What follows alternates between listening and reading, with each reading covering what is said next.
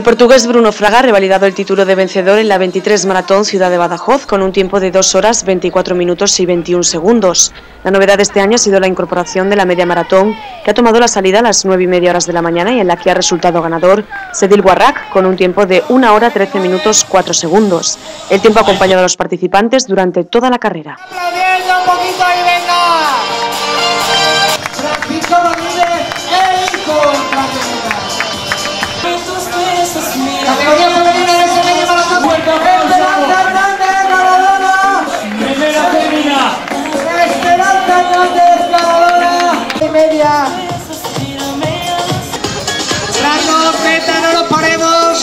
Saltando. Media.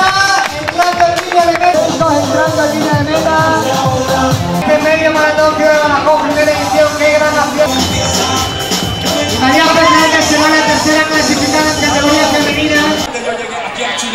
Llega otra chica, la sexta clasificada.